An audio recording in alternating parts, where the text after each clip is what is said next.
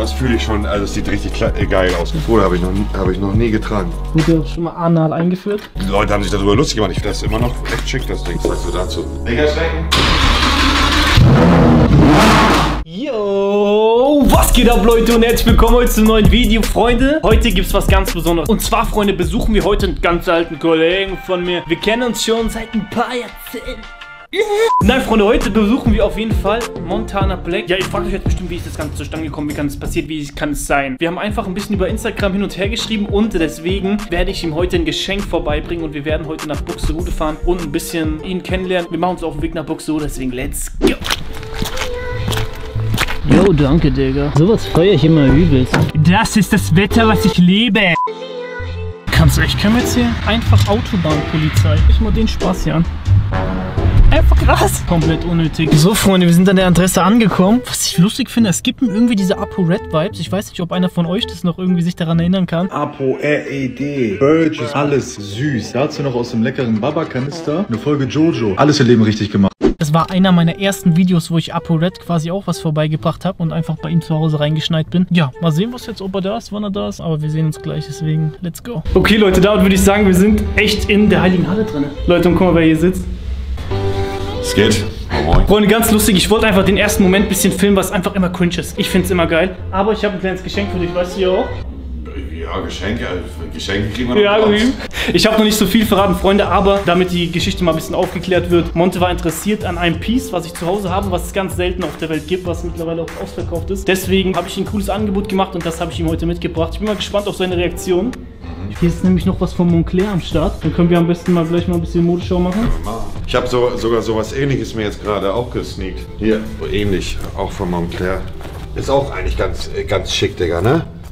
Das Einzige, was ich hier nicht so geil finde, ist dieser Plastik. Wenn du, wenn du, wenn du Ober, äh, also wenn du nur ein Unterhemd anhast oder ein T-Shirt, dann ist dieser Stoff so, fühlt sich so nicht so geil an der Haut an. Aber an für sich ein schönes Stück äh, von Montclair auf jeden Fall. Man sieht schon, Freunde, Gucci. Der eine oder andere kann es wahrscheinlich auch schon denken. Ist nicht so weit hergeholt. Ja, ich mag die schon gerne, Digga. Ich mag auch, man muss auch sagen, gerade letztes Jahr und dieses Jahr, aber speziell ist so dieser Beige-Ton und so sehr in Trend gekommen. Safe. Auch diesen Braunton, ich habe davon noch eine, an, einige andere Sachen, auch von der Qualität und so, ist warm. Qualität Baba, Wärme geht. Also man muss schon was drunter ziehen. Das Ah, ist ja, jetzt ja, keine fette ja. Winterjacke. Oh, Digga. Vom Kreuz. Doch, Bisschen, ne? doch. Ja, Digga, das ist halt einfach bei diesen Sachen hier einfach, dass du dir eine die, also, Bruder, ich gehe mit meiner Freundin shoppen und guck bei ihr in die Hose so, also, und dann steht da Größe 3. Oder beim Oberteil Größe 3. Und Ich bin so oldschool, ich kenne nur L, XL, M, dann so. Also, vom, vom, also die passt auf jeden Fall. Boah, doch, Digga. Die Die, die, die, ist schon, mashallah. Die ist schon echt wunderschön, Digga. Safe. Auf jeden Fall hat er die in meinem Lambo-Vlog gesehen. Oder Lambo-Video. Wie fandest du die?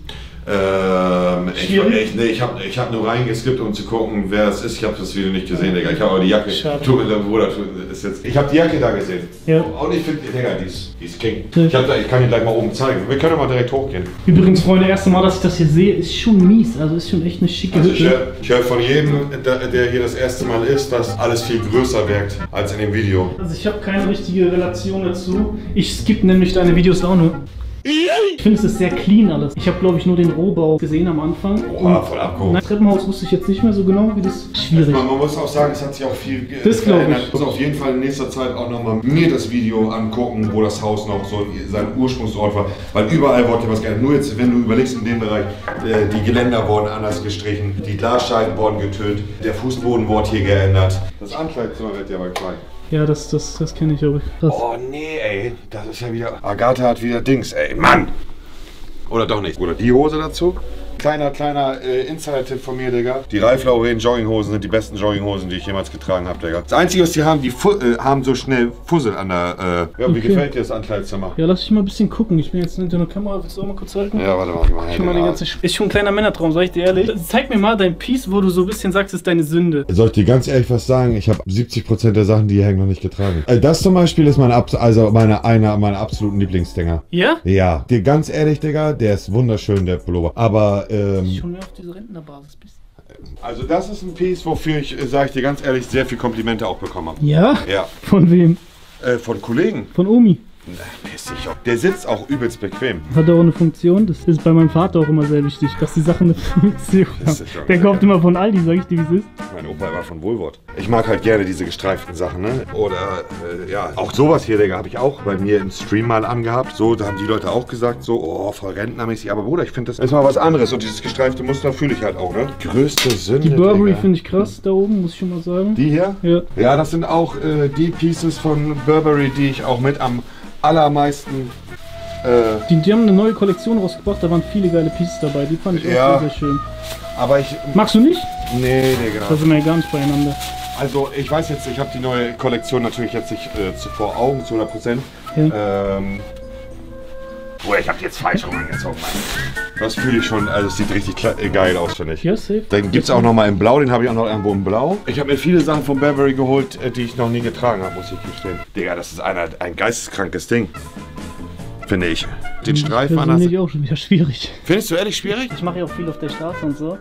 Hm. Manchmal sehe ich auch den Stoff öfters mal bei Optik. Komm, scheiße. Das war auch die letzte Reaction auf deine scheiß Videos. Den finde ich zum Beispiel auch wieder sehr nice, ne? Von Fendi. Nee, das ist gut, den, sowas kenne ich ja. Wer, wer. Digga, wer ist denn das jetzt, Junge? Ja, das sind die, die ich gerufen habe. Nee, warte, warte, ich gucke auf Kamera erstmal, bevor ich überhaupt runtergehe. Darf ich mitgucken? Nee, nee, So, Bruder Agatha ist jetzt unten. Ich hab jetzt freien Lauf, Junge. Wo sind die Uhren? Aber irgendwo muss doch hier so ein Tresor sein mit den Uhren. Aber egal, wir gucken jetzt mal ein bisschen nach. Cool. Weiß ich nicht. Sind halt alle, viele alte Klamotten auch noch dabei, ne? Der ist gerade gekommen, Agatha. Ja. Das, Ja. Der ist richtig gut, finde ich. Von Tupac. Ja, Bruder, ich habe halt viele Sachen hängen, die ich noch nie getragen habe, ne? Den zum Beispiel so, den habe ich mir gekauft, Digga. Von Chicago Bulls. Und, Digga, habe ich noch nie getragen. Von Marcelo Boulin, eine Kooperation war das mit Bulls. Aber dafür, Digga, hier mein Heiligtum, Bruder. Ah, auf, auf arrogant. Ach, die Unterhöschen. Ja, Digga. Digga. Getragen Ja, aber Unterhosen sind wichtig und richtig. Und wie ich auch immer predige, davon kann man nicht genug haben. Zum Beispiel hier. Socken, Socken, Socken, Socken und Unterhemden. Unterhemden, Unterhemden, Unterhemden. Was ich gerade gesehen habe, was ist das hier für eine Hase? Auf Versace angelegt. Ja, noch nie getragen. Habe ich mir auf Malta gekauft, weiß ich noch. Auch noch nie getragen. Ja, das Ding ist halt einfach, äh, ich bin ja auch jemand, der äh, seine Sachen zu 95% online bestellt. Hm. Und oftmals sieht das halt online besser aus, auch an den Models so dran. Weißt du, wie ich meine? Und dann behältst du die aber, schickst du nicht zurück? Also ich schicke nie was zurück. Entweder verschenke ich das oder es äh, steht halt hier rum. Ne? Das finde ich zum Beispiel richtig fresh, Digga. Das, das feiere ich auch. Schwarz-Weiß Aber geht das immer. ist ziemlich teuer gewesen für das wenig, was Ja. man bekommt. Und Naja, deswegen- alle Louis-Klamotten Ja. mit diesen Sachen drauf sind Ja, ja. extremst teuer, Digga. Ist extremst teuer, aber überdurchschnittlich teuer im Verhältnis zu Louis. Ich habe irgendwo ein richtig geiles Louis-Shirt, aber ich weiß nicht, wo er gerade das hingetan hat. Scheint wohl noch in der Wäsche zu sein oder so, kein Plan. Und Ich kann mich noch erinnern an eine Hose, die hatte diesen Print. Die hatte ich mal an Silvester an. Oder da muss ich sagen, da wurde ich aber ein bisschen ausgelacht. Hose, der auch schwierig, aber das T-Shirt selber, also ich wurde schon oft im Stream nach Mode gefragt, aber äh, die Valentino Pieces mit dem Camouflage, die sind, also da haben die Leute immer gefragt, oh, woher hast du die, woher hast du die? Wirklich? Ja, wirklich, voila. Ein so ein T-Shirt kostet so 400 Euro ungefähr. Das ist geisteskrank. Das macht keinen Sinn. Ja, du kaufst, äh, du hast dir das Ding hier gekauft. Ey, was? Habe ich die nicht verkauft? Ja, für Minus. Auf Trade. Auf erfolgreicher Trader. Das muss ich sagen, das ist echt schon was ganz Geiles. Ähm, und hier wird immer richtig. Äh, Hier ich mir, lass ich es mir gut gehen, Digga. ja, Schön großes Bett ja. und äh, hier knackt's ab und an mal. Ich sag dir auch ehrlich, es war gar nicht so viel mehr teurer, sich das anfertigen zu lassen, als zu kaufen. Ach, auch Sonderanfertigung. Ja, ja, ja. Aber ich habe also eineinhalb, zwei mehr bezahlt für die Anfertigung. Ist ja nichts. Ja, ich fand das auch wichtig. Und ich fühle mich sehr wohl in dem Bett, Digga. Das kann ich dir so sagen, wie es ist. Hier haben wir auch so viele Sachen, Digga. Guck mal, zum Beispiel die, die Burberry-Jacken hier, Digga. Bruder, habe ich, noch nie- hab ich noch nie getragen. Guck mal, sogar noch Preisschilder dran. Die hat wieder komisch gesessen. Die ist geil, die ist richtig krass. Ich glaube. Guck mal. Digga. Das könnte, äh, nee, eigentlich ist es keine Sinne, Digga. Doch, ja, ein bisschen. Kann, aber ist beidseitig, ne? Kannst du beidseitig tragen. Erinnert an Barca. Seine Bauer Fashion Zeit von Visca Barca. Na Freunde, ich muss mal nebenbei sagen, wir haben gerade äh, ein bisschen gequatscht, dies und das. Sehr, sehr tolle Themen. Sehr, sehr viele Erfahrungen oder Sachen, die hast du schon durchlebt, die ich wahrscheinlich erst gerade durchlebe. Oder die mir manchmal auch vielleicht ein bisschen wehtun. Sehr, sehr ähm, toll, mit jemandem sich ähm, auseinanderzusetzen, der das vielleicht schon durch hat und einem auch ein, zwei Tipps geht. Deswegen gerade ein bisschen ruhiger. Ne, wir machen mal weiter. Bedanke ich mich schon mal an der Stelle. So, jetzt erstmal die Hose ausziehen. Wurde auch schon mal anal eingeführt. Äh, nicht bei mir. Den habe ich schon Ewigkeit. Diesen Baseballschläger habe ich bestimmt schon 13 Jahre. Und zwar, ich hatte ja den Schlüssel von der Schule und habe da die Sportumkleiden und so leer gemacht. Aber in diesem einen Raum haben die Baseballspieler ihre Sachen liegen gelassen und da habe ich mir mal diesen Baseballschläger rausgeklaut. Der ist schon Asbach uralt. Und der wurde auch schon mal benutzt. Also, Gegen Menschen meinst du? Nein. Oder gegen nein, Tiere? Nein, niemals, nein. Ich habe ich hab den schon oft mitgenommen, ja. Aber was willst du auch machen, wenn drei, vier Leute an deinem Haus sind und Ich klingeln und verstehe. weglaufen? Ich weiß ja nicht, was das für Arschlöcher sind, dann laufe ich da erstmal hinterher. Äh, Der einzige Grund, warum ich dieses Ding benutzen würde, ist, wenn mehrere Leute auf mich losgehen. Yes. Oder eine Person mit einem Messer oder sowas. Deswegen ist es wirklich nur, wenn ich Angst habe vor mehreren Leuten, die mich bedrohen in meinem eigenen Eigentum. Der ist hier, Digga. Den habe ich da hingelegt, damit ich ihn nicht mehr sehe, weil ich ihn nicht brauche. Weil ich keine Lust mehr auf diese Kacke habe. Digga. Ich bin älter geworden. Ganz lustige Geschichte. Letztes Mal, als ich nach Hamburg gefahren bin, im Zug, ich hatte meine Maske nicht richtig auf, ne? Gegenüber war ein älterer Herr, 40, hat mich voll angeschrien mäßig. Ich muss nur mal kurz Luft holen, tut mir leid, das ist nicht perfekt. Der schreit mich komplett an, Choleriker, irgendwas. Ich sag so, boah, du Scheiße, halt die Fresse, dreh mich so weg. Auf einmal steht der auf, was hast du gesagt? Aber ein dünner, so mit Brille und so, ne? Ich dachte, was will der jetzt? Auf einmal, batz, zieht er mir eine richtige Schelle, ne? Hat er den Der Schelle hat mir eine richtige Schelle gezogen. Auch mitten im Zug so. Ich aufgestanden, bam, bam, zweimal, der ist weggeknickt. Würdest du mit so einer Situation umgehen? Aber Ich würde ihn auch so lange schlagen, bis da keine Gefahr mehr ist. der ist auch weggeklappt, aber er hat danach noch gesagt, ich habe gesagt, hat's geschmeckt? Er sagt so, ich habe schon mal härtere Schläge bekommen. Ich mir auch nur dachte, Bruder, okay, dann äh, Gewalt ist keine Lösung, aber wenn man nicht. angegriffen wird und sich verteidigen muss, dann genau. kann man es machen. Was sagst du dazu? Oh, Baba. Doch, für die feier ich. Der Aufdruck, Baba. Die sind wunderschön, Digga. Sind auch sogar bequem. Also ich habe ich hab Schuhe, warte mal, die sind von der Freundin auf Prada, Digga. Hier, Digga. Das sind die Montclair. Das ist, welche Schuhgröße ist das? 46 oder so? Bruder, ich komme nicht in diese Schuhe rein. Also, Aber die sehen auch ein bisschen aus wie so Gummigeschichten. Die sind sehr bequem, Oh, so habe ich mir sagen lassen. Ich bin ja schon Rentner, ne? Bruder, ich komme nicht in diese Schuhe rein. Digga, es, Gut. äh, äh, es geht nicht. Es geht nicht. Ich komme da nicht rein. Es, äh, also der Fuß explodiert. Ich, ich komme nicht rein. Es geht nicht. Probier du mal, ob du da reinkommst. Du kommst da rein? Ja, ab- absolut. Das klingt als richtiger Tomatenkopf Ganz- als Markus. Digga. Also, äh, fühlen die sich gut an oder nicht? Ja, absolut nicht. Nee. Wieder 400, 500 Euro angezündet, Digga. Du hast für, vorhin über die Visca Barca-Zeit geredet. Und das ist ein Schuh von 2000. Von 2014, glaube ich. Ja, verpiss dich. Den habe ich mir, glaube ich, 2015 oder so mit Elotrix zusammen gekauft beim Shoppen im Phoenix Center in Hamburg. Schönes Ding. Die Leute haben sich darüber lustig gemacht. Ich finde das immer noch echt schick, das Ding. Sieht, sieht top aus, ja, mit den Blitzen vor allem. Boah. Da siehst du, aber kommst du schon ein bisschen anders rüber. Ein bisschen fett. Sag mal ehrlich, die ist schon, die ist schon Baba, oder? Ja, um Respekt einzuflößen, ist sie gut, aber. Ich habe die auch noch in Stoff. Habe ich mir damals aus dem NBA Store aus Amerika bestellt. Das sieht ja mehr so aus, als ob du mal rausgehst und mal ein paar Leute einschüchterst. Habe ich noch nie gemacht. Ich habe mich in meinem Leben noch nicht einmal geprügelt. Ich habe immer nur aufs Maul bekommen. Das glaubt man dir sogar bei dem Gesicht. Schnauze, Alter. Die, die Jacke habe ich mir mit von meinem ersten YouTube-Money geholt. Alpha Industry war damals, Bruder, auch jetzt immer noch eine stabile Marke, aber damals wollte man Alpha Industry war das Nonplusultra. Das ist, oha. Ja, ich noch einen Sprüh, benutzten Sprühkopf? Ich muss einmal ins Spiel gucken für die Nostalgie, Bruder. Boah. Was ein Typ. Oh, Digga, die Jacke fühle ich ja immer noch mies. Bräuchte die, genau die nochmal äh, frisch. Oder? Sag ehrlich, die sieht doch Ist aus, das auch oder? ein Mann, du?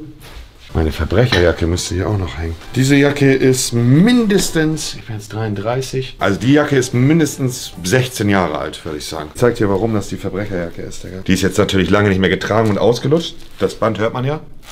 Ist kaputt. Ist kaputt, Digga. Nein, das ist kaputt, das Gummiband.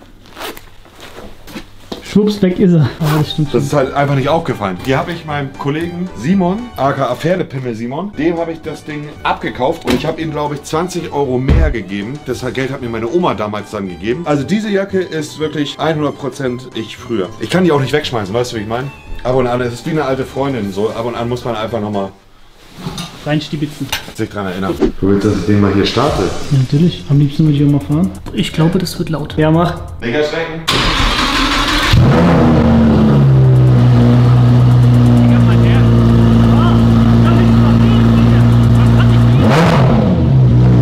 Boah, Digga, das ist doch mal ganz anders. Ich hab dir doch gesagt, du wirst nicht erschrecken. Oder du Freak. Jeder erschreckt sich immer. Aber was ist mit deinen Nachbarn? Ich kenn dich. Ich fahr ihn jetzt einmal kurz mal raus, lass ihn ein bisschen kurz laufen und wieder rein, weil. Ja. Man versteht nichts.